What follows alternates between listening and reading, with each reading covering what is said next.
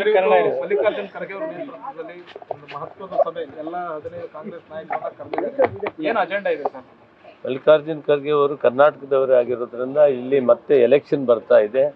ಆದ್ದರಿಂದ ಮುಂದೆ ಯಾವ ರೀತಿ ನಾವು ಪ್ಲಾನ್ ಮಾಡಬೇಕು ಕಾಂಗ್ರೆಸ್ ಪಕ್ಷ ಈ ಎರಡು ಸಾವಿರದ ಇಪ್ಪತ್ತ್ಮೂರು ಚುನಾವಣೆ ಗೆಲ್ಲಬೇಕಾದ್ರೆ ಅದರ ಬಗ್ಗೆ ಸೀನಿಯರ್ ಲೀಡರ್ಸ್ ಜೊತೆಯಲ್ಲಿ ಮಾತಾಡಿ.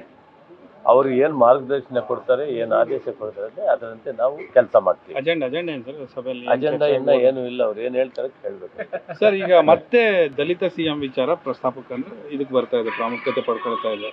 ಇದ್ರ ಬಗ್ಗೆ ನಿಮ್ಮ ಪ್ರತಿಕ್ರಿಯೆ ಕೊಡೋದಾದ್ರೆ ಕಾಂಗ್ರೆಸ್ ಅಧಿಕಾರಕ್ಕೆ ಬರಬೇಕು ಅಷ್ಟಕ್ಕೆ ಸೀಮಿತವಾಗಿದ್ದೀವಿ. ದಲಿತ ಸಿ ಎಂ ಮಾಡಬೇಕು ಯಾರನ್ನು ಸಿ ಎಂ ಮಾಡಬೇಕು ಅದು ಶಾಸಕರು ಮತ್ತು ಹೈಕಮಾಂಡ್ ತೀರ್ಮಾನ ಮಾಡ್ತದೆ ನಮಸ್ಕಾರ. Thank you